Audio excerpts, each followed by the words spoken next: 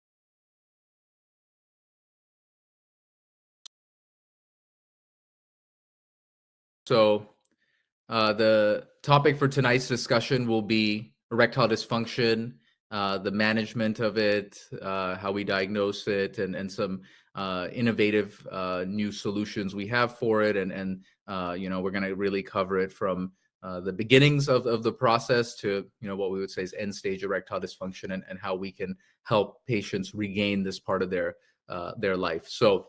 Um, my name is Dr. Paurush Babbar. Uh, I, I, grew up in Melbourne, Australia, uh, and I moved uh, to the US for high school uh, in Atlanta, Georgia. Um, and then I went to Wake Forest for my undergrad and medical school degree. Uh, I had a great eight years there. And then I think one of the, the best and luckiest things that happened in my career, I matched at what I think is the preeminent urologic institution in the country, the Cleveland Clinic. Uh, and over there, uh, spent six years doing my residency, uh, saw a very wide gamut of urology, from ranging from stones, female urology, kidney transplantation, cancer, you know, the, all of it. But the thing that always stuck with me was men's health, prosthetics, and and reconstructive procedures, and just really helping men um, regain parts of their life that that sometimes they they think they've lost and and they can't get back. So uh, you once again just lot of lot of uh, luck and and just hard work, and I, I was able to stay on for a fellowship, uh, just a whole year dedicated to this with with uh, two of the greatest mentors, Dr. Angermeier and Dr. Wood, who really took me under their wing and, and taught me everything. And uh, so so now uh, been in Cincinnati a little while, and I've, I've tried to bring a lot of these cutting edge techniques that that that uh, were were inculcated at the Cleveland Clinic uh, over over here. So here uh, are some of the specialties that we see besides that I see besides erectile dysfunction, testicular pain, uh, urethral reconstruction. So you know, uh, ha- happy to. Uh, you know, be a sounding board and, and, someone that that patients can can see for some complex issues. And I, I see patients out of our main Norwood location and and on the east side in Eastgate.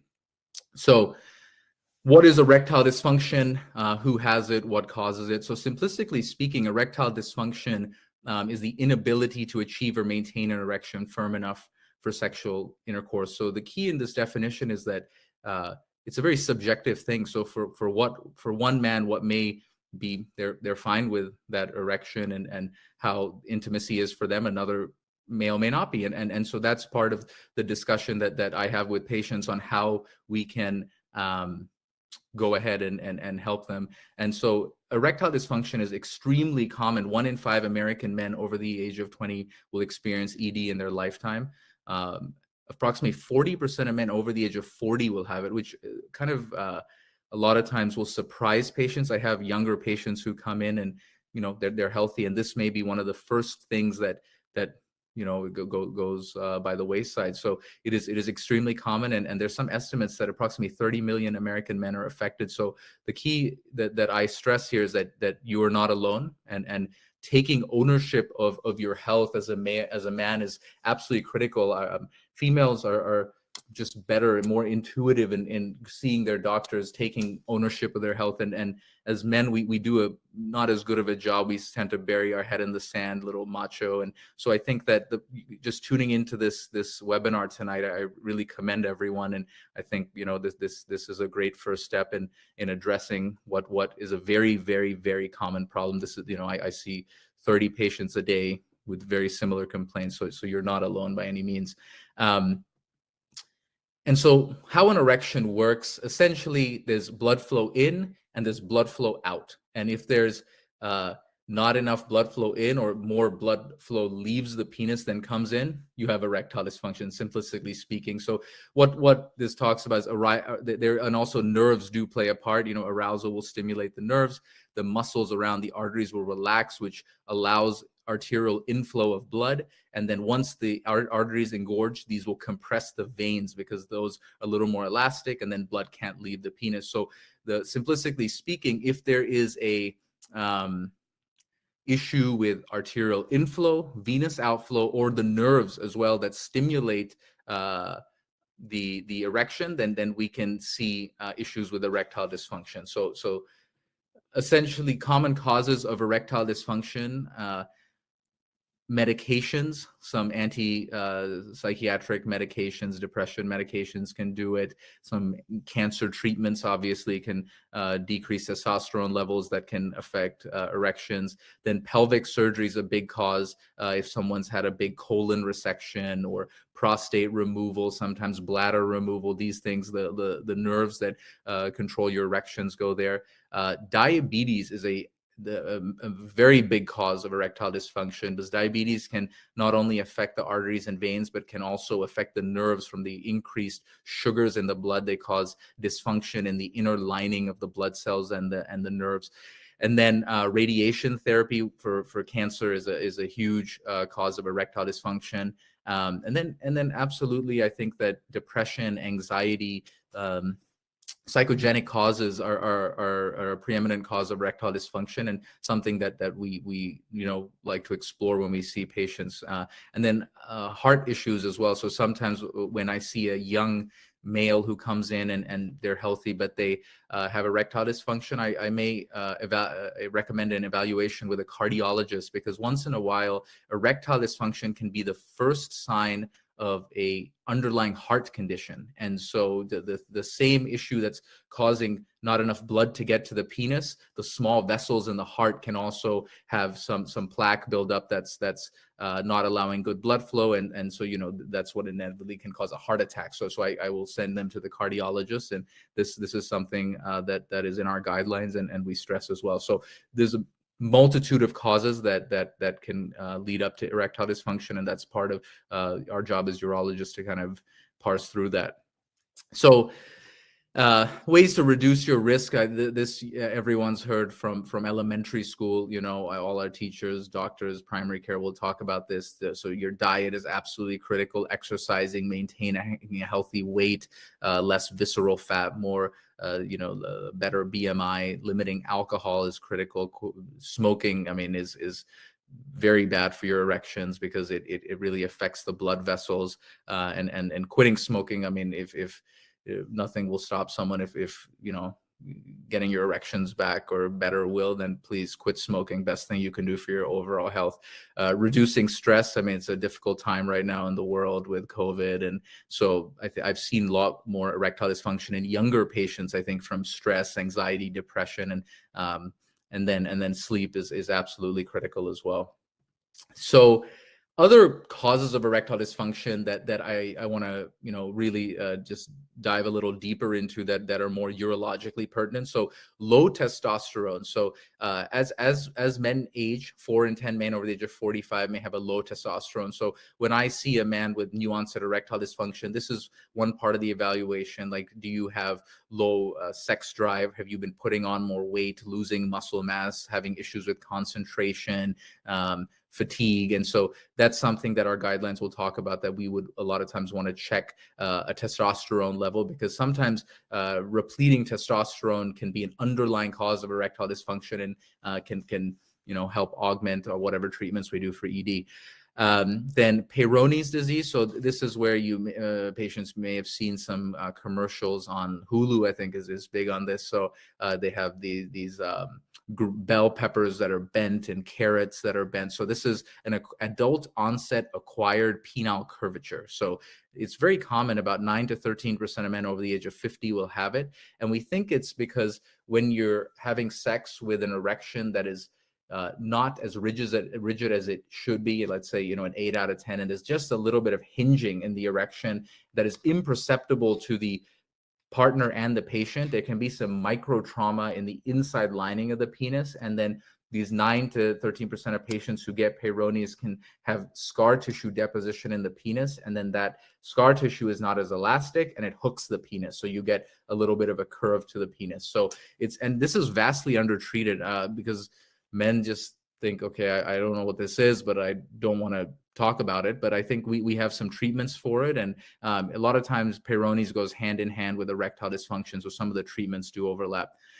And then another uh, condition that, that we, as urologists, treat a lot is prostate cancer. Um, and it's not the actual prostate cancer generally that's causing the erectile dysfunction, but some, you know, the treatments that um, the the urologic oncologist uh, have to do to kind of save men's lives from the prostate cancer. So, uh, you know, whether it be surgery, radiation, or, or, hormonal therapies for metastatic prostate cancer, these can all uh, cause uh, issues with with erectile dysfunction, and and we, we, we definitely look into that when we see patients for for the condition.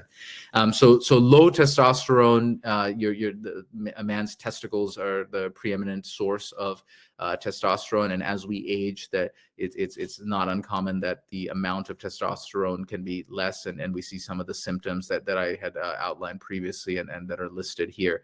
Um, and so it, it's important that that if this is an issue at least we have a discussion about repleting testosterone. And you know part of it depends uh, is is the man interested in fertility? Because then if you're interested in having kids there's a different way to replete it versus if you're not. And um, a lot of times you know treating the low testosterone can make uh, our treatments for erectile dysfunction just work better because you're really treating the underlying cause of, of, of what may be precipitating the, the erectile dysfunction. Um, so some of the treatment options, uh, if you're a candidate, there's gels, solutions, alcohol-based solutions like hand sanitizer that we rub in. Uh, oral medications is a new one on the market called Jatenzo that uh, we we give, and then there's a one that's a little off-label, but this is the one we use for patients who want fertility, Clomid, and that increases the precursors to testosterone and kind of kickstarts your own body trying to make a little more testosterone. There's newer nasal sprays uh, that that Natesto that that work well patches, pellets, and then injections as well, um, which generally sometimes we can say are last line, but but work very well and, and have been around for a number of years and have stood the test of time. So, um, and, and, actually at our pharmacy uh, in, in at, at, the urology group, we uh, provide this service where with, uh, you know, testosterone repletion, we, we have a full service where uh, we, we will manage the, the therapy that we deem best for you. And then and then more importantly it's all about monitoring the labs. You want to make sure that you know each patient will take a different dose and you don't want to overshoot because when you hear about some of the side effects with testosterone such as heart attack stroke i think this is more related to when the, some of these low testosterone clinics that are not run by urologists they'll just get you in every second uh, third day, shoot you with testosterone, not check labs. And when you get your testosterone levels super therapeutic, I mean, too much of, of a good thing can be a bad thing. And, and this is where we see this. If you take your testosterone into the thousands, yeah, you're going to feel great. You're going to bench press a ton, but then you you may die of a heart attack. So, so you need to you know it needs to be managed carefully and that's that's what we we do through our lab just to, to stay on top of that with our pharmacy and uh, and, and and our and our uh, group of, of uh, physicians assistants that we've trained up on on this and they do an excellent excellent job.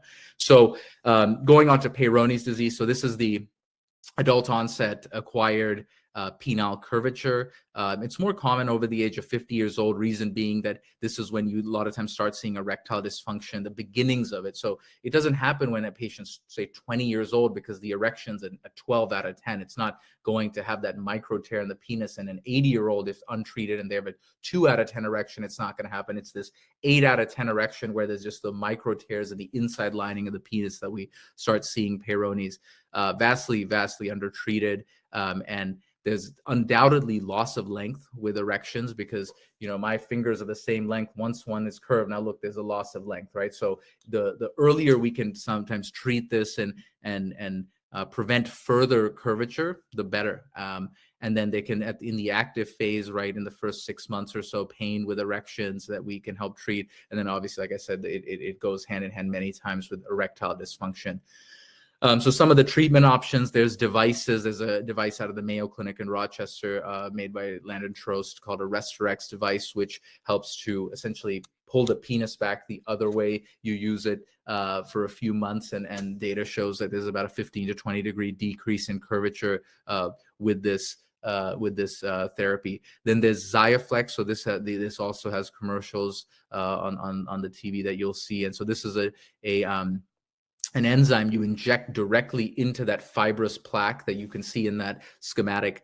And um, it has a enzyme in it that breaks down collagen histolyticum collagenase. And this uh, can can over the course of about six to eight injections a lot of uh, you know help reduce the curve uh, on average about 17 to 25 degrees and then there's surgical options. Um, so penile plication, incision and excision and grafting of, of, of a plaque. And then, um, and, and so those two treatments are generally reserved for patients who have good erections, but Peyronie's. And then if you have concomitant uh, Peyronie's disease with erectile dysfunction, a penile implant is generally your, your, your best bet to straighten the penis and give you a reliable, rigid erection for intercourse prostate cancer. Um, so, so like I said, it's it's generally the treatments that are given for prostate cancer that uh, can precipitate some of the erectile dysfunction. But you know, I, I, I you know, I fully respect that that prostate cancer is the second most common cancer in men. It needs to be treated many times, and you know,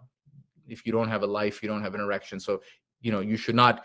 Uh, hesitate for a second to undergo whatever treatment your oncologist thinks is, is best for you and then we can deal with whatever comes and, and a lot of times it's not it's not a guarantee there's erectile dysfunction but um, in in in you know this study is saying 30 to 40 percent of patients after some type of treatment you may get some erectile dysfunction.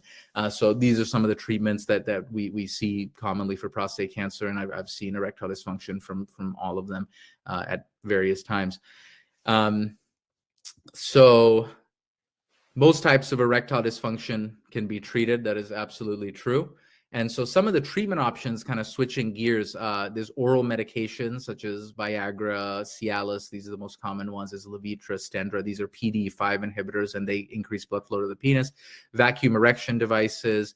Uh, there's this uh, the Alma Duo ultrasound wave therapy. So this is the new cutting edge uh, technology that that has uh, kind of uh, come through in the past few years that that that we're going to uh, dive deeper into that a lot of patients may not know about because the other things have been around a long time. And then injections that you give yourself directly into the penis and then penile implants um, being the surgical option uh, for erectile dysfunction so um, oral medications, uh, the Viagra, Cialis, uh, these medications through the nitric oxide synthase pathway will increase blood flow to the penis, and they do require sexual stimulation. You can't just take the the pill and and and hope for the best. I mean, there there has to be some uh, stimulation with it. It's effective in 50 to 85 percent of men, and at first, generally, uh, patients, you know, who, who have not had, let's say, a big colon resection where the nerves have been taken out. I mean, they will have some response.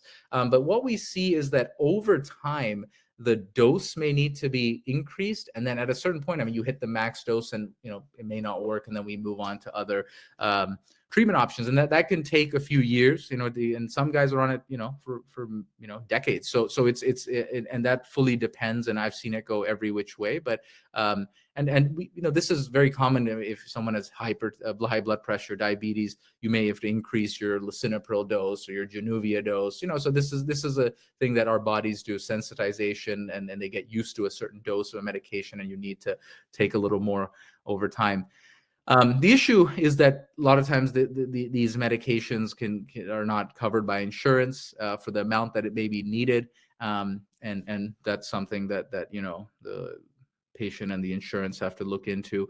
Um, so potential side effects because this is increasing blood flow to the penis, mean it also increases blood flow for instance, to the head. So that's why you some patients can get like a head rush or a headache, some facial flushing, nasal congestion, um, and so uh, th- those are some of the side effects that that that we can see with these medications. Um, so just going into the two most common ones that we as urologists will prescribe one is viagra or the generic name is sildenafil. It takes about 30 to 60 minutes to work uh, will last for about four hours maybe a little less and the you know should be taken on an empty stomach generally speaking. Um, and then cialis they call it the weekend pill because it can last they say up to 36 hours should take it at least one hour before. I, I, generally say two to four generally. And this one is not as dependent on food, which some patients like. Uh, and there are daily and as needed op- options note, uh, that are available. Um, people will say, which one do you recommend? And I, I would say that I have half my patients swear by one, half by the other. You know, some have side effects to one, some have it to the other. So, you know, sometimes we, we just I, I, go through both and whatever sounds more attractive, we start on that. If you don't like it, we go to the other. Um, and then, like I said, there are other options too, but these are generally the ones that um, we start with and, and are more apt to be covered uh, by insurance to make it uh, affordable.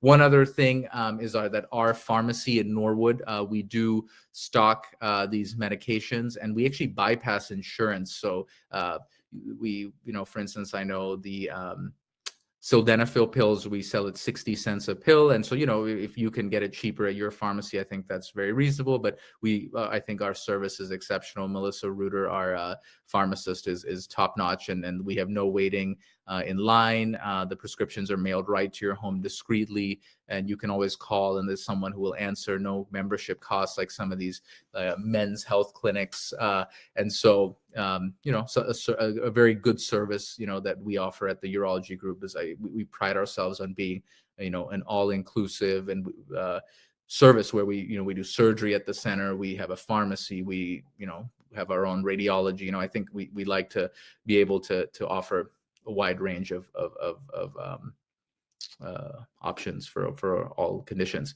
Um, next, vacuum erection device. So so this is a um, let me just it'll be easier if I show this. So there's a hollow plastic tube that's placed over the penis, and essentially it, it, provides suction it can be hand or battery powered and it uh, pulls blood into the penis and a lot of times if you look at the base of the penis there's that elastic ring uh, like a rubber band that's put at the base to help kind of trap the blood there and so uh, this this is what's called a vacuum erection device has been around for many years and i have some patients who, who really swear by it and, and it works great for them.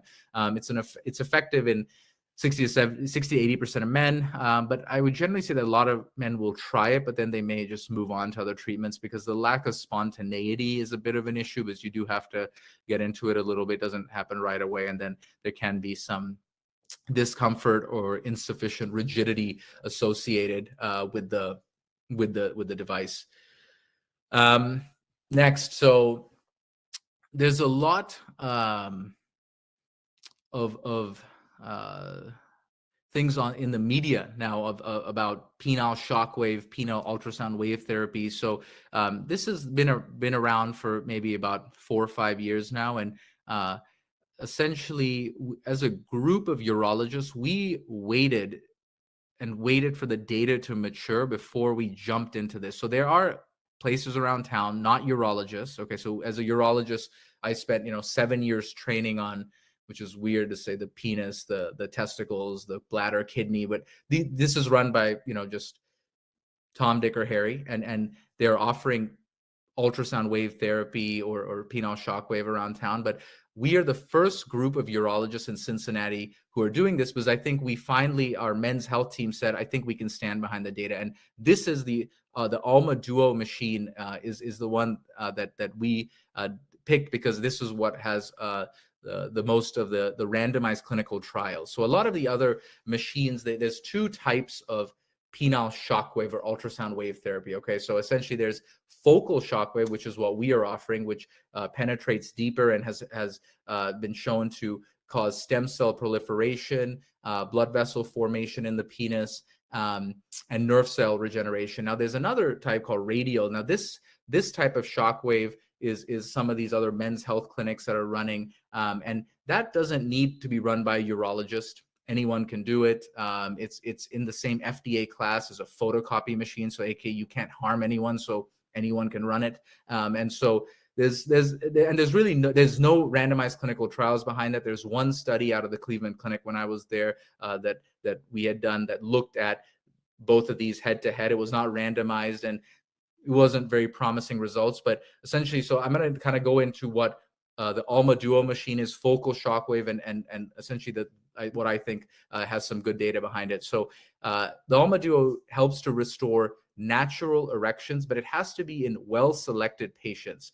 Um, and and so there's it's six quick 15 minute in-office treatments uh, with uh, this this uh, ultrasound wave therapy. There's actually in, in all the randomized clinical trials that are coming out of Israel and Europe, uh, there was no real expected side effects such as blood collections in the penis, penile hematomas, urethral strictures. Uh, really, not no pain uh, was associated with it, and a lot of times patients could either eliminate their use of sildenafil or Cialis or decrease the dose. Um, and it can be, sometimes be a, a, longer lasting treatment for erectile dysfunction. Um, and if we yeah so this this is how it essentially works uh, for for people who want to understand the mechanics so it's a low intensity uh, shockwave therapy. So urologists we've been using shockwave therapy since the mid 80s uh, i don't know if any of the people today in the in the audience have had kidney stones in the past. Uh, we do they, they, will put a probe on the back and we can shock stones. But the key for that too is it needs to be a well selected patient. So I, if i see a patient who is a severe diabetic has had his prostate out and they took the nerves and the bladder. And you know i'm not going to offer this treatment to them. I don't think it's going to work. What the data shows is that patients who have some response to cialis or viagra that this can the alma duo treatment can augment that and keep them on that treatment or eliminate the the need for that longer. And so they don't have to progress to you know the other thing injection penile implant and so it needs you know it's all about patient selection and and that's that's i think what we we stress. So the therapist will treat multiple areas on the penis with the alma duo and this is all based on all these randomized clinical trials uh, that that that have uh, come out. Um, and it's clinically validated to stimulate better blood flow uh, and in europe interestingly so as urologists we have guidelines that we follow um, and in Europe, in the uh, European uh, Urologic Association guidelines, it is actually now in the first line therapy, right there with Viagra, Cialis, vacuum erection device, and penile shockwave. Focal penile shockwave is covered. So in in Europe, it, it's it's there, and I think at some point in the United States, the FDA and AUA may have may be doing this too. So uh, this will this will be interesting. So um, now we're gonna have just a little animation on. Um, the, the, the penile shockwave. So we're going to just show that now. so as you can see, uh, this is the, the handheld piece that uh, delivers the ultrasound wave therapy. And there's uh, certain um, locations on the penis that, that we uh, shock. And that is based on all the studies, like I said. Um, and essentially what you have to realize is the penis is like an iceberg. So what you see on the outside, there's also some on the inside. And so we we get some of that, what's called the crura of the penis, and this helps to, uh, like I said, stimulate some blood flow, nerve cell regeneration, stem cell proliferation in the penis. So, um, yeah.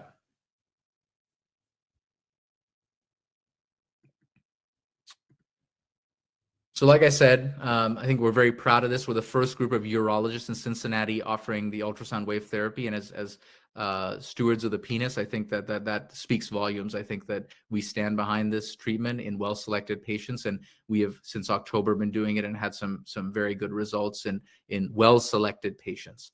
Um, we have a staff of, of, of experts with decades of experience that that uh, um, help with this. Uh, and like I said, we we really look into the history and and what your response to Viagra and Cialis is, or you know where you are in this continuum of erectile dysfunction. Um, and it's like I said, it's backed by multiple randomized controlled trials and approved in in guidelines in in, in certain countries, which is great. Um, and one question that people ask is it covered by insurance? I think that's always the elephant in the room. So in Europe, generally, because it's in the guidelines, it is. In the United States, unfortunately, at this time, it is not. So um, the pricing on on this, uh, because I, I, know that's already coming through as a question, um, is uh, for, for, each treatment, it's uh, $400 and there's six treatments. So if, if I think they say if you pay for the first uh, pay upfront, you can pay for $2,000 for six treatments. You get the, the six treatment free. So, um, and this is uh, how to get started. This is a QR code if, if you want to not uh, jot that down, if anyone's interested. And there's the, the phone number. And we will uh, offer a free uh, consultation online uh, with one of our providers just to see if you're even a, a candidate. If not, we're not going to waste your time uh, with it. And then um, start treatment after that. Okay, next. So injections into the penis. Um, so this has been around for for many years. Um, so in, in patients who generally maybe fail uh, Viagra, Cialis, ultrasound wave therapy, vacuum devices, the the last step before a surgical procedure generally is injections into the penis. So uh, a small uh, amount of uh, medicine is is injected directly into the penis, and this really helps to uh, bring blood flow into the penis and and um, 60% of men, I think even maybe a little higher, can can see success with this. Um, it, to, you have to kind of keep it on ice uh, and and in the freezer a lot of times, so it's a little cumbersome to. The spontaneity is probably what I think patients have the most issue with, and then also the the thought of putting a needle in one's penis. But um, uh, the reasons that patients will seek alternatives pain you can have development of scar tissue then the, the prolonged erection. So you you may hear this when you see the viagra commercials on, on the tv if you have an erection lasting longer than four hours see your uh, doctor. So I, that certainly can happen with viagra but it's more common with the injections because it's just a more potent dose that goes directly in the penis. It's not like a pill going all throughout. And um, so so those are that and this is how it works you know you self inject and as you can see that that schematic is showing you put it into the side of the penis was the the the, the nerves and the urethra are not there and then five to 20 minutes after you get a nice rigid erection and uh, there's a few specialized pharmacies um, that that provide this. Uh, we do not have this in our pharmacy, but we we we can um, you know direct patients if, if they're a candidate to to an appropriate pharmacy. And then um, last but not least, so so penile implants. So interestingly, penile implants have been around over four decades, which which uh, longer than Viagra, which is which uh, surprises many of my patients. So um, this is a surgical treatment, um, and this is how this works. So there's um, two types of penile implants. The, the one that's been around over four decades is a malleable penile implant. So it's these rods that we surgically place into the two erection chambers of the penis called the corpus cavernosum. And you essentially can just move those up and down. And then the the Cadillac or the you know the one that we do majority of cases in inflatable penile prosthesis. And this is this schematic here. So it's a fluid filled system. There's two cylinders again that are in the penis. There's a pump in the scrotum and a reservoir that we tuck in the abdomen that up there. And so essentially, um, when you want to have sex, you just locate that um, pump that's in the scrotum. You squeeze that momentary squeeze pump and it pulls the fluid from that reservoir into the implant. And then when you're done, if you can see that little notch right here that's um, on the top of the implant. You press that, and that is, is a valve that releases the fluid from the cylinders back into the um, back into the reservoir.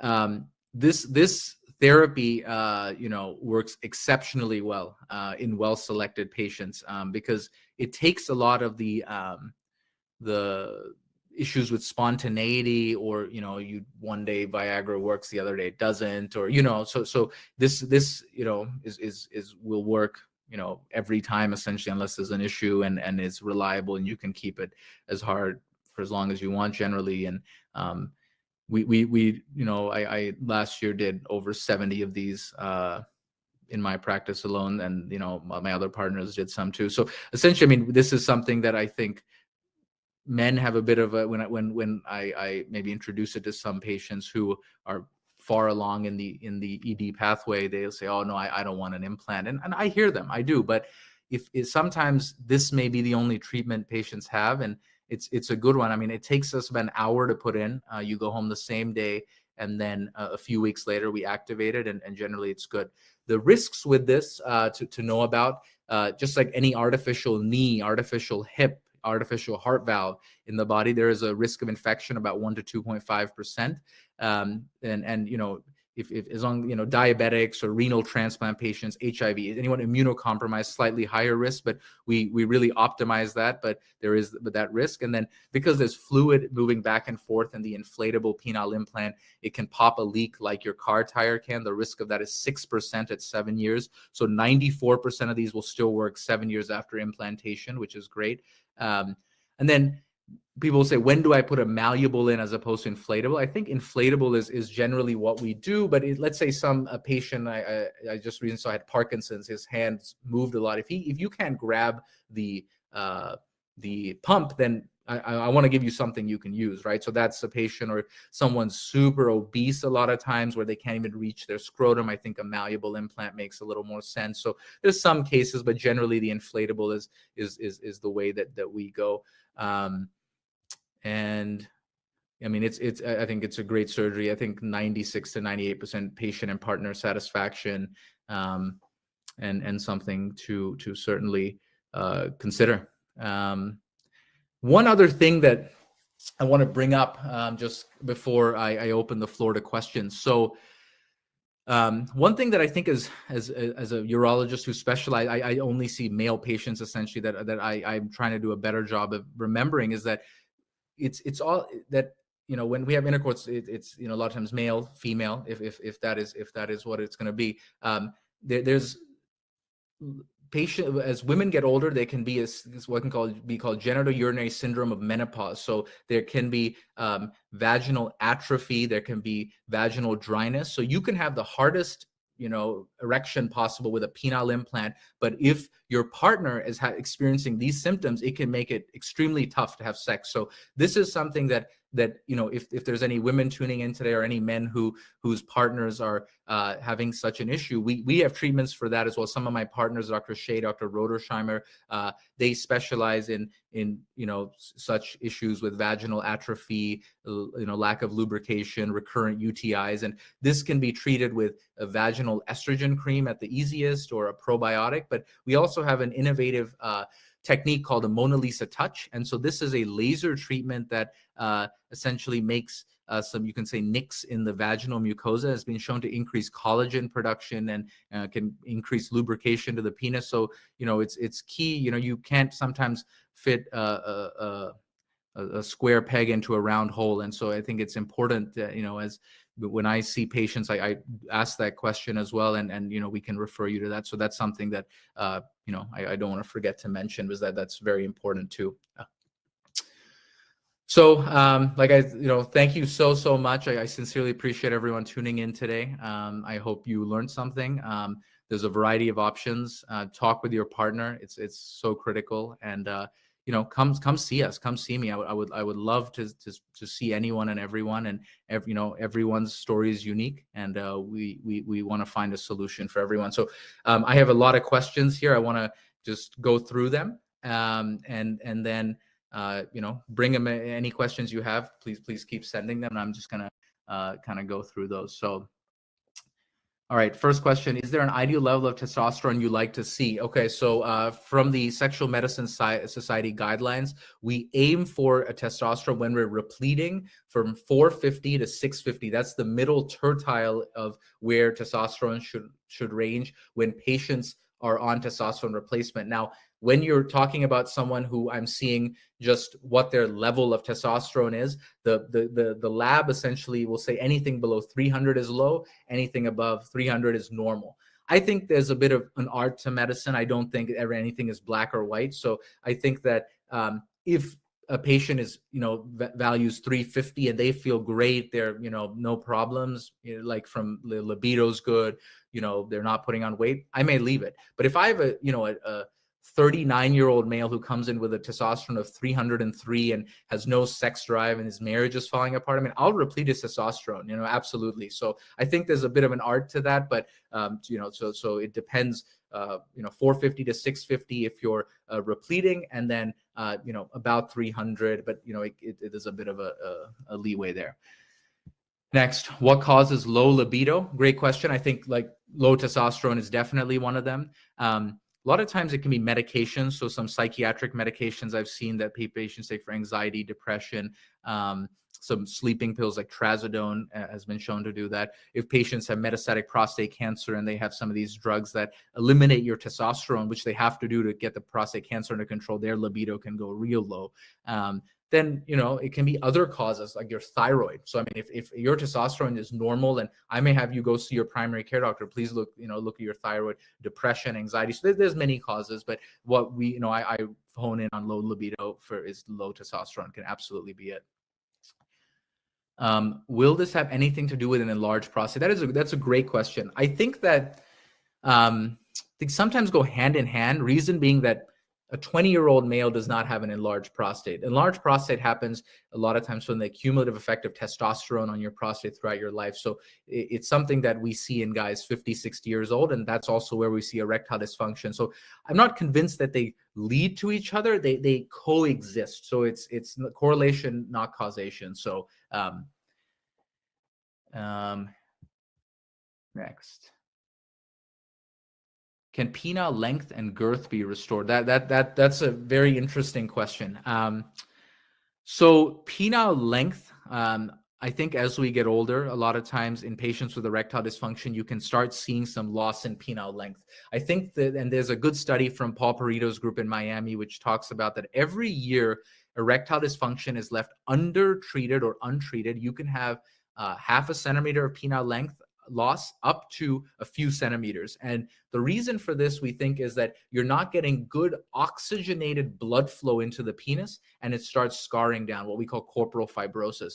So, um, can this be restored? Uh, generally speaking, penile length is a difficult thing to restore. There are some people trying some innovative things that that are I, I don't they're not ready for prime time. We can just put it at that. Now, girth is the other question was can girth be restored? So this is where I think potentially the answer to this one is yes. So there is a new treatment on the market called Penuma. We are not offering it right now, but I'm I'm I'm looking at the data very closely and and it, it may be coming honestly speaking you know I, once it like like with the penile shock i'm, I'm not going to offer something i can't fully stand behind but when it's ready i, I, I may we may do it and so this is a uh, essentially a a, a, cap that they put on the top side of the penis is through a surgical incision, and that's been shown to help definitely increase girth. And some of the pictures show that patients think that the, the length is better too. So something to consider. And then, um, so so this is an ongoing uh, thing now. One thing to remember is so, so one of the penile implant companies, Boston Scientific, they have a uh, their implant is called an LGX. It's a length and girth enhancement. So when you going from a flaccid penis to an inflated penis, you do see a little bit of girth enhancement and maybe a centimeter, centimeter and a half of length enhancement. So the penile implant that we that I do put in can sometimes help a little bit too. So you know, uh, good, good, great question. Um, Alma Duo Insurance, we talked about that. Okay, here we go. I've been to a urologist for ED before, and they never diagnosed the problem, just prescribe meds. Do you do an injection test or some other test? Okay, great question. Um, so, so I think that there are some uh, physicians who will do penile Doppler. That's what this pa- this patient is asking about routinely, um, and and that can essentially what that tells you is what's the blood flow in, blood flow out. But it still may not really tell you like if if you have diabetes, let's say, that may not tell you if that's the issue. So a lot of times I will tell you I I maybe you know and this was my training with with Ken Angermeier at the Cleveland Clinic. We did not do many penile Dopplers because it did not a lot of times, unless it's a trauma patient with an arterial problem, it did not change my management for the patient. But it can sometimes be a bit of a traumatic test because you're getting an injection in the penis and you need another one to bring it down. You have someone doing an ultrasound in your penis, and you may not, no one can tell you, oh, it was this. They'll just say, okay, your blood flows less. But I know that already. If you have erectile dysfunction, there is a blood flow problem. I can tell you that without putting two to three needles in your penis. So I'd say yes and no, but I would say for me, generally, me, that's just my personal practice. I don't do many, but some of my partners do. And, and in their hands, they do a great job and, and it helps them. So, so, you know, and, and that's why I love medicine and urology. It's an art. It's an absolutely an art. And, and everyone, uh, you know, brings their own perspective and their own training into it. And, and that's great. Um, I'm in my mid 60s. Erection is usually not a problem, but sensitivity is to the point that orgasm is almost rare. Is there any help for this? Okay, great question. Well, few things. What we know is that um, as men get older, the amount of ejaculate uh, can definitely decrease because the prostate knows as men are getting older, they're not trying to have kids. So that function that can can kind of uh, whittle down a little bit. Now, orgasm a lot of times is predicated by it's a mental thing. So, like we know this from patients who have prostate removal, they can't ejaculate anymore. The prostate's gone, but they can still have orgasm in, in you know in, in situations. So this is a it's a lot of times mental. So the testosterone level is one thing I would look at here, and there's new there's newer there's medicine called cabergoline uh, which is a psychiatric medication which there's two studies behind that say that may help with orgasm um, so so you know this there's certain things but maybe you can say it's a little preliminary but but i, I have certainly given it to patients and had some success um, does ultrasound work after having plication for Peyronie's disease? Another great question. So essentially, I mean, what, what they're asking is, does this Alma Duo help with Peyronie's? Um, what we know on this, the data for this is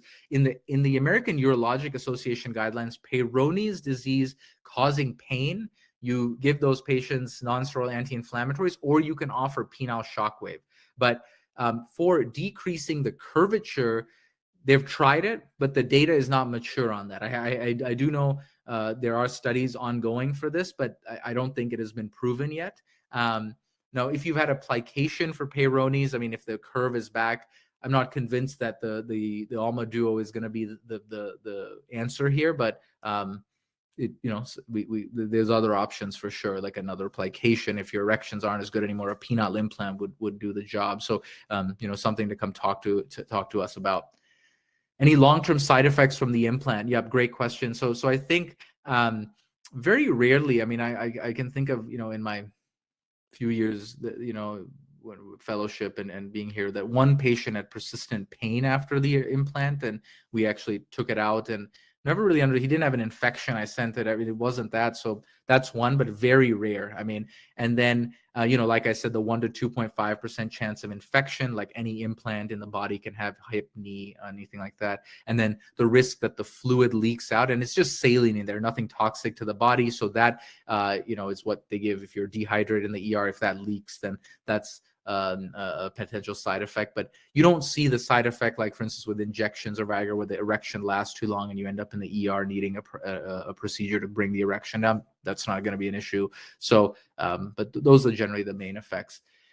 Any risk of the ultrasound Alma Duo may dislodge any plaque that may be in the arteries? That, that is a, that is a great question. Um, we have not seen that yet. No, um, it, we, we have not seen that it has dislodged any plaque um, and and caused you know what what what I guess this patient may be worried about is what's called a, a you know a ischemic attack or a stroke. But no, none, none in all the studies, randomized trials, we, we have not seen that. Luckily, any study using TENS therapy on the penis. Um, not that I'm aware, not that I'm aware, but I, I have to look into that. But but I mean, I'm sure there, there may be, but I not that I have seen, you know, in any of our meetings that or that that has great gained much traction.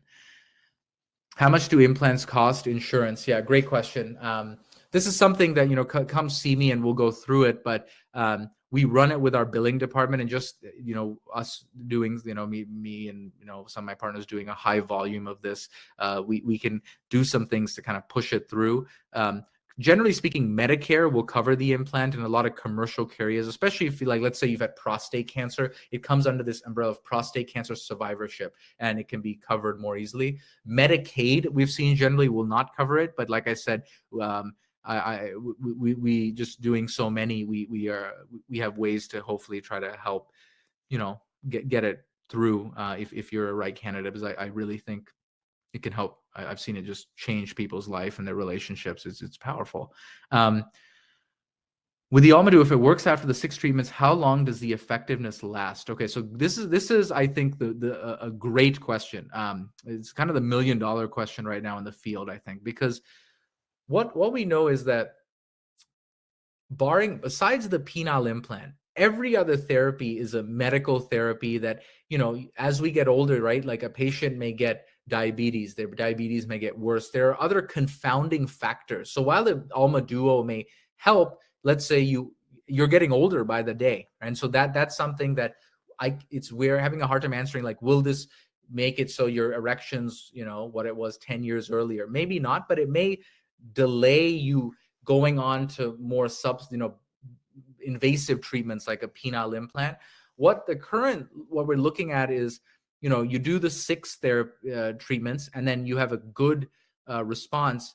What they're now uh, studies looking at do you need like a touch up for instance right? So if you know people get botox in their face for for wrinkles yeah you go back six months later to get more botox right? It's not as if you got the botox and then you're you're you know you, you're ready to, to you know you're, you're you're good so we and and we are seeing that the one to two touch up treatments may be needed but once again these, these studies are ongoing and we'll see but um I, it's hard to, to answer. The, the only answer, and I can't answer that for Viagra even, I'll tell you, or injections. The only answer for how long does something last, the penile implant. Why? Because I put a device in and it takes out all the other things from the patient's hands, like whether your diabetes gets worse, whether your heart disease gets worse, that implant is going to work. You know, for, uh, I, I know 94% of them will work s- seven years after implantation. And and it it's not affected by your aging and your comorbidities. But the other things it's it's hard to answer that question. Um will it will it work on peyronie's disease? Like i answered that. We, we at this point not we don't have the data can the Alma Duo treatments be done in the evening? Um, I think at this time it's not evening. I think late afternoon we have some appointments around four, but um, that's that's a good uh, thought. I mean, I'll pass that along. It's something that if if that we have enough traction, I think we could, you know, make that potentially available.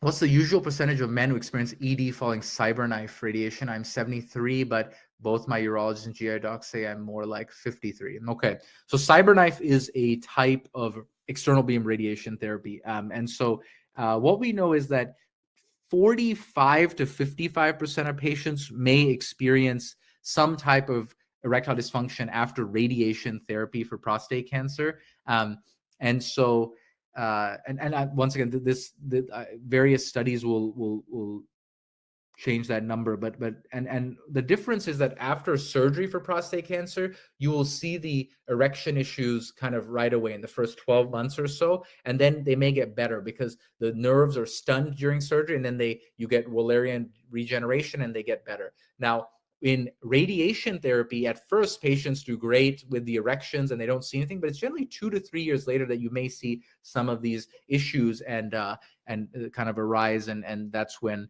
um, we, we treat that. One other thing that I want to uh, just just uh, say is patients after prostate cancer treatment may also get urinary incontinence and leakage where um, when you cough and sneeze you may leak urine um, that's something we didn't go into today because it's kind of a little different but we have some good solutions for that there's an artificial urinary sphincter that we can put in and that sometimes that goes hand in hand with erectile dysfunction and if that's an issue i like to treat the incontinence first because you want to get the patient dry. It's hard to have sex if you're leaking on your partner. And so we did over 40 of those procedures last year. Uh, that's a reconstructive urology procedure to help, you know, essentially get this, the, you know, recreate the sphincter mechanism. But something that that you know, please come see me if that's an issue. Um, how do we find where we are on the ED spectrum? I think just come in and see me for an appointment, and and you know we we kind of go through some a history and physical, and we can decide. Um, does a medical doctor administer the shockwave therapy? Um, so it, it's administered by my staff who's been well trained on this. it, it is not us uh, doing the, this, but the initial consultation will uh, be with um, my my PA uh, in the men's health clinic, who is once I mean just exceptional and, and knows all the data and, and who we should be doing it on inside and out. And I, am always open to appointments to come discuss it further. And really, um, I, I love taking a, a, deep dive into the the science behind it and the data, and, and happy to answer any questions. So please come in.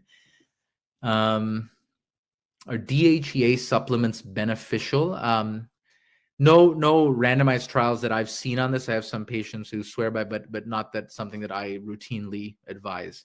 Um okay we answer that one. Yeah so a lot of these are how long does alma duo last? And that was the effectiveness Okay. Is Alma Duo treatment effective on men in the late 60s? So it's not, I don't think it's more to do with age, actually. The, uh, the data showing it's more to do with where you are on the spectrum. So I think if you have some response to Viagra or Cialis, I think that you, and, and you know, and you have, let's say you haven't had a prostatectomy. So, right, there's four studies on patients who had prostatectomy it's not ready there, so I wouldn't offer it there. But as long as you know it, you you're re- responding to Viagra or Cialis, regardless of age, generally, I think Alma Duo is something to to potentially consider. Absolutely. Um, I'm four months post prostate removal with left nerve sparing, doing a vacuum four to five times a week. Awesome, very good. Sildenafil, uh, but no reaction so far. Should I pursue other treatments now or be patient? Um, Great question. Um, so, so generally, what we see is that after prostatectomy, it's actually the three to four months out is when actually things erection-wise are at their worst. So, I, I want you to not lose hope. You're doing all the right things. Keep the vacuum going. Stay on the sildenafil. That's helping bring blood flow to the penis. I would not recommend Alma Duo or anything like that at this time in your situation. Um, I think you should continue this, but uh, generally 12 to 18 months after prostatectomy is when we see, okay, where do we stand? Okay. And then we may go down whatever route. But I, I think right now, unfortunately, I mean, is, is where it may be the worst actually, the three to four month period. And it's, it may start getting better now. So, but you're doing all the right things. Would a 70 year old be a candidate uh, so with Peyronie's and ED be a worthy candidate for wave therapy, or is penile implant the best option? Great question. It depends on the degree of curvature of the Peyronie's and how bad your erectile dysfunction is.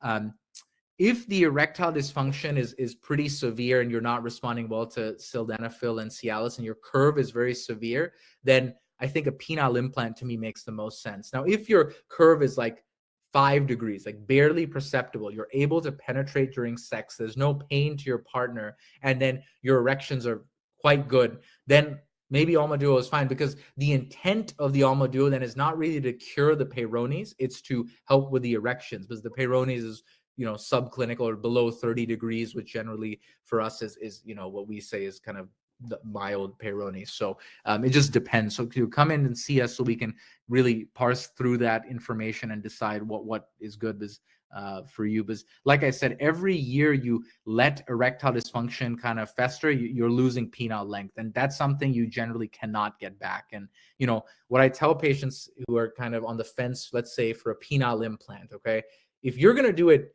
today versus five years from now, if you were gonna do it regardless it's better to go today because five years from now, you're going to have at least lost two and a half centimeters of penile length that you're not going to get back. But, and, and you're five years older, maybe you, you're, you know, in a wheelchair and can't even get it because you can't use your hands. You know, I mean, things change in our life. So I think that, you know, burying your head in the sand and not addressing it is, is a lot of times can be detrimental to us as men. So, um, um, I suffer from PTSD, convergence addictive depression, men's anxiety meds four times a day.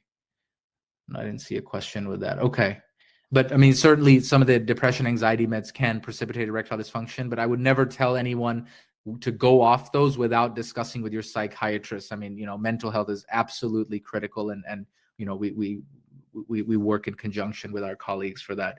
Have you had success in restoring nerves damaged by prostatectomy? So, like I said, four studies of Alma Duo on prostatectomy patients. Three of them showed no benefit. One is equivocal, uh, meaning maybe, maybe not. So, what I tell patients is, can I stand behind it? No. Uh, but, you know, I've had a few patients who say, you know what, I'm still going to try it because, like I said, the main thing is there's no side effect in this. You're not going to get worse. And so they've tried it and and you know I I, I I'm it's still plus minus. I mean I think that we I just depends. I mean I, I think at this point we can't stand behind that.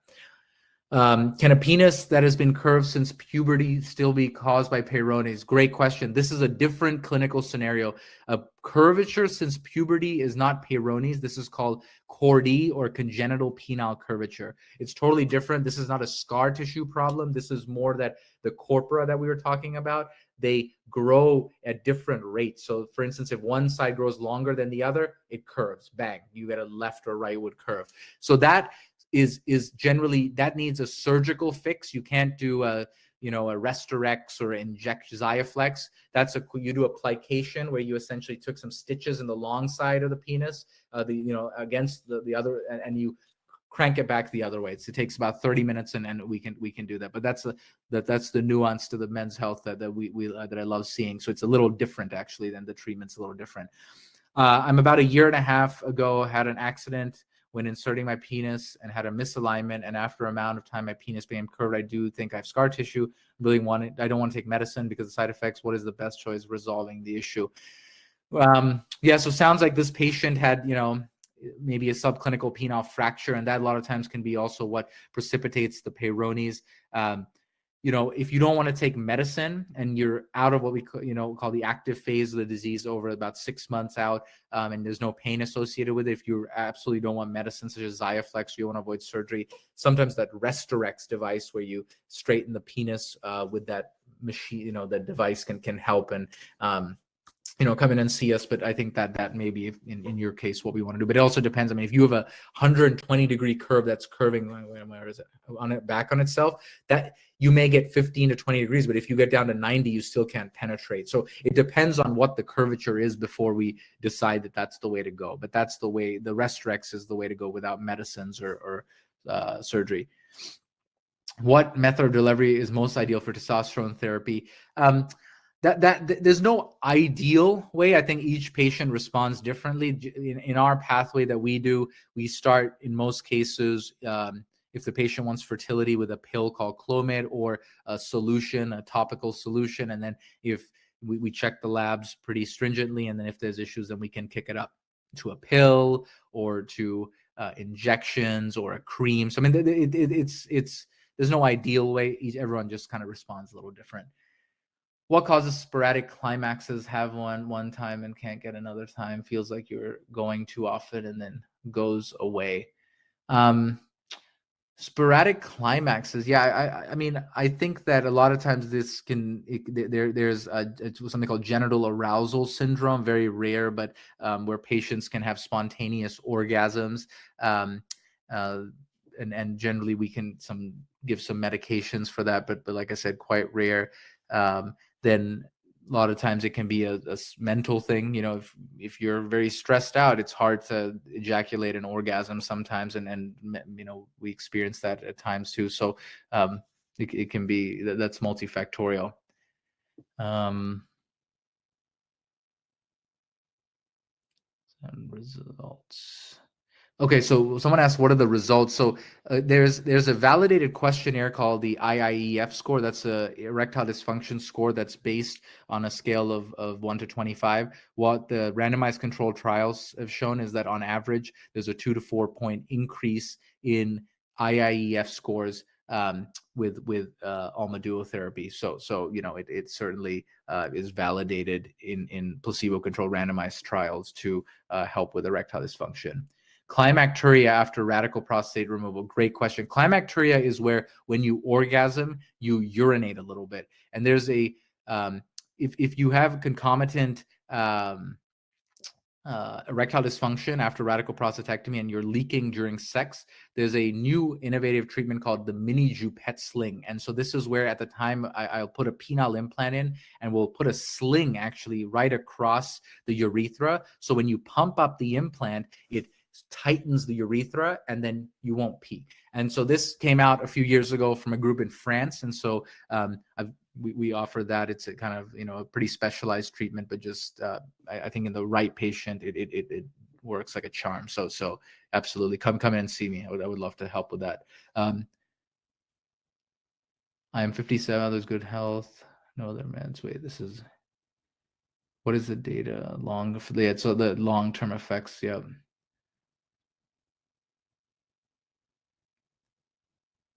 Costs we went through. How do higher low estrogen levels in men affect ed that's a great question. So what we see is that patients who um, are generally more obese may have increased estrogen levels. That's because the fat cells the adipose cells will convert testosterone testosterone to estrogen. And that can sometimes cause issues with gynecomastia um, hot flashes, things like that. So if the estrogen level is high, there's actually some treatments when, when I'm repleting testosterone that I will do to decrease that. And that will essentially, but essentially I cut, we cut off the enzyme that converts testosterone to estrogen and that shunts it back the other way. And that will actually increase your testosterone, which then can you know if your testosterone is good for an obese man they may be able to exercise more they feel more uh, vigorous rigor you know they can go to the gym. And so it kind of really helps the man as a whole. It's it's, it's absolutely key. So no that i i check estrogen or estradiol levels uh, when i replete testosterone. If you're on chronic Pain meds and have a dorsal column stimulator is the ultrasound wave therapy an option. Have intolerance to testosterone therapy. Yes, um, yep, it, it would be an option. Chronic pain meds and even a, a, spinal cord stimulator. It's it's not going to cause an issue because it's a focal shock wave that goes into the corpora of the penis. So so please you know give us a call and and let's take a look. Um, I had the Urolift procedure. Will the acoustic therapy have an impact on that? So no evidence that uh, it causes any problems with any previous prostate procedure. Urolift is for enlarged prostate. Um, the uh, the the ultrasound wave therapies on the penis. The prostate is actually pretty deep inside the perineum, and and it should not cause a problem with that. Uh, I wonder if some of the medications I take have an effect on ED. I just feel some of the medicine I take, Wellbutrin in particular. Yeah, Wellbutrin potentially, but like I said, I would never ask you to stop it until we have a discussion with your primary care, your psychiatrist who may be um, prescribing it. Do vitamins help with ED? Um, once again, few studies on this, nothing randomized. There are some anecdotal things that people will talk about, but but nothing that I routinely recommend or can stand behind is what I would say. Um, if you decide to move forward with injection therapy for ED, um, try the injections at home. Do you need to try injections or do you need to try the first dose in the medical office to get the dosage correct? Um, okay, so American Urologic Association guidelines will talk about uh, that the first injection or, you know, until you're comfortable, we do in the office.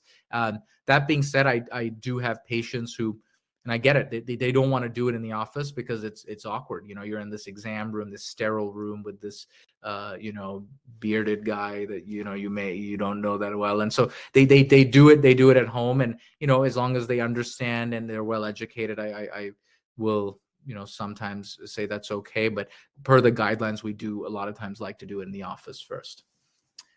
What is the effect on blood flow to the glans once the implant is placed? Since it's not a normal blood flow, does it leave it cold like an erection with a pump?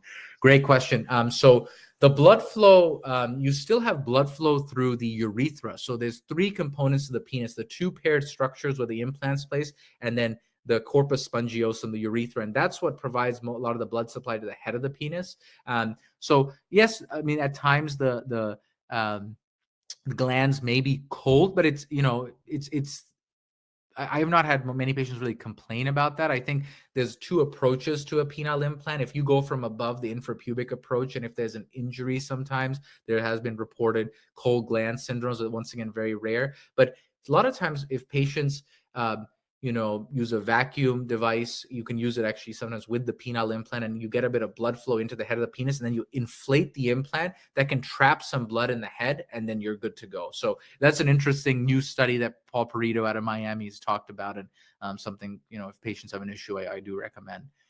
If the if the implant becomes infected, can the infection be treated without implant removal? Generally, the answer to that is no, um, because if the implant is infected, that means that there's a biofilm of bacteria on the implant, and so you have to take it out. Now, if you have a superficial infection at the incision, what we call a surgical site infection, that looks very different, you're not having fevers, chills, just a little bit of redness, yes, we can treat it with antibiotics many times. But if there's pus, drainage, you're having fevers, chills, you got to take the thing out. Um, and and and yeah, that's the safe and the right thing to do.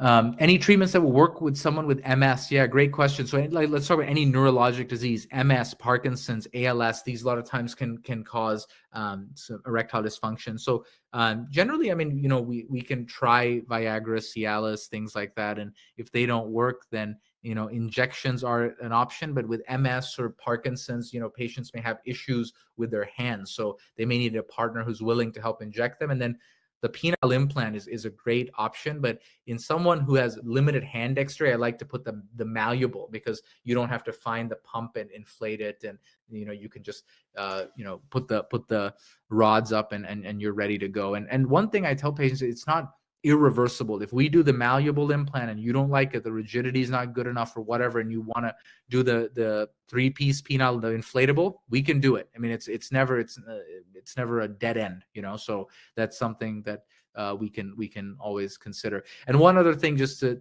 all these penile implants, no one will know you have it. Uh, we make it, you know, we conceal it very well. If you're in a locker room, it's it's it, no one will know. It's MRI safe. There are times I even get an MRI of a penile implant, uh, and um, it's not going to set off a, a, uh, metal detector in an airport. So you're you're you're good to go.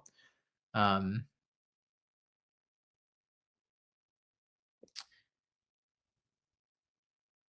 how do you find out if your estrogen level is high? It's a blood test that we do. Um, lisinopril does it contribute to ED? Some evidence that lisinopril may have some association with ED, but once again, I would never ask someone to stop it. That needs to be discussed with your uh, primary care doctor before we do. Um, food, fruits and fr- vegetables can be good that are red can be good for ED. Any opinion? I've made, I've heard that too. Once again, I've not seen any studies on that, but hey, look, vegetables, good. Keep it up. Yep. Uh, since my insurance won't cover the Alma Duo, how much do I expect to pay? So uh, just to say that again, there's six treatments. That's what all those randomized trials did. So we're, we're recreating that. Um, it's $400 a session, but if you pay for all six up front, the fifth one's free. So it's $2,000 for uh, six sessions.